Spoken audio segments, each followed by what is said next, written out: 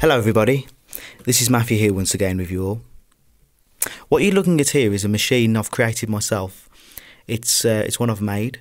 It's an electric cylinder phonograph made from various parts. Um, the top works were from an old rusty Edison phonograph uh, that's it's been spray painted, and all the mechanical uh, clockwork uh, mechanism has been uh, replaced um, with electrical. Um, you can see here I've got uh, speed control, uh, power light, and off and on switch. The um, the tone arm was from an old turntable. It's from an old Pioneer, I believe. Um, the turntable was. Um, you can see the screen there is a, a tachometer that will give um, a speed, uh, give a readout of the speed of what the cylinder rotates. If we come to the back, you can see we've got uh, a 12 volt DC input and left and right phono inputs. So um, at the moment, um, the, I, I, gave it its first try earlier, and it actually worked on first uh, first attempt. Now, there's still a lot of adjustment to go, but uh, I wanted to do this video just to document, uh, just to document it really. So uh, we're going to first turn on the power.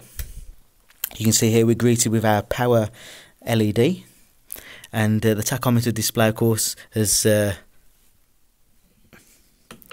has come on. Now, uh, bear with me a second. The motor is a little bit noisy. Now, if we have a look here. So you can give the speed uh, read 160 RPM. Um, I haven't got the ground uh, connected, so there's a bit there'll be a bit of a hum, and it's wide in stereo, so we won't get the best sound. But uh, here we go, just as a little attempt.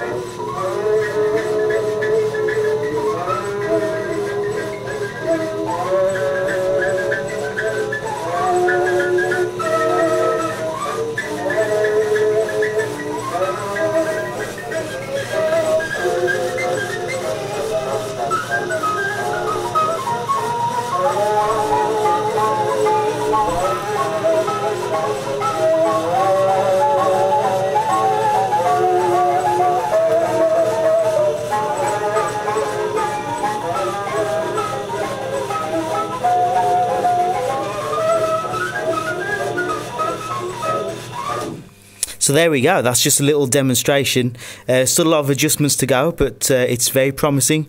Um, what I'm going to do, of course, uh, because it's a stereo output, if we if we um, uh, invert one of the channels, we can actually pick up the uh, the bottom, the sound of the vertical modulation that's in the grooves, and of course that will reduce a lot of the surface noise. And of course, uh, when I plug the the ground lead, it will um, eliminate that um, 50 hertz hum that you can hear in the background. So anyway, I hope you enjoyed the video. Um, your comments are always welcome, and it's I must say it's a great feeling when it's a machine that uh, I've created myself, and when you've made something from scratch, it's uh, it's really gratifying. So anyway, thank you very much, and I hope you enjoyed the video.